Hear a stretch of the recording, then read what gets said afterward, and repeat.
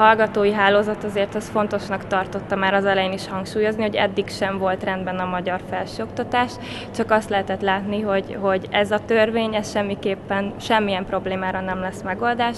A, a, ami biztosan hangsúlyos szempontként megjelent a 11 pontban az az, hogy, hogy,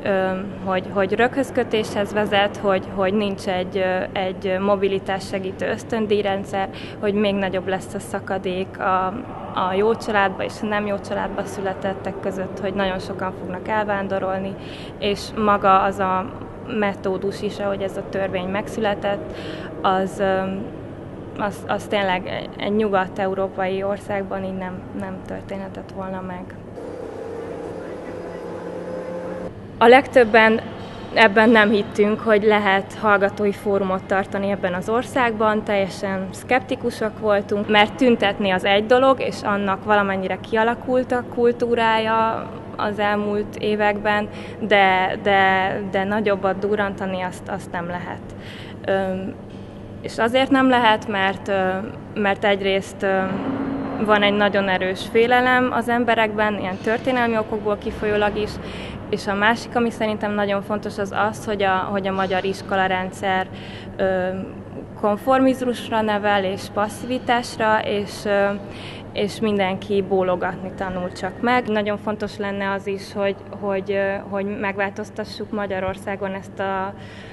az alatvalói politikai kultúrát, és hogy, és hogy és hogy a civil öntudatot erősítsük, illetve hogy felülírjuk ezeket a történelmi népi urbánosban, jobb, stb. ilyen, ilyen lövészárkokban gondolkodást. A hallgatói hálózat tagjai vagyunk, és elfoglaltuk a Soter rektori hivatalát. Külön tartunk itt,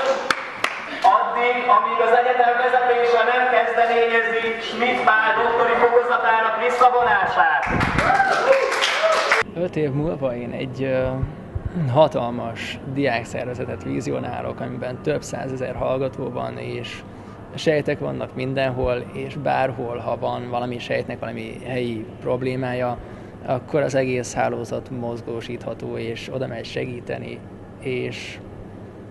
és természetesen, hogyha jön valami újabb erőltetett felsőoktatási törvény, akkor az egész hallgatóság egy emberként léphet föl. Erről talán így egy öt éves távlatban lehet beszélni, hogy ami, ami Magyarországon nem, nem volt meg, nincsen meg, hogy a fiatalság egy, egy ilyen katalizátor szerepben égető társadalmi kérdésekre választad, és, és egy ilyen kritikai attitűddel a mindenkori kormánynak egy civil kontrollját nyújtja. És, és az lenne a cél, hogy kicsit ezt megtaníthassuk ennek az országnak és a többi, többi fiatalnak is.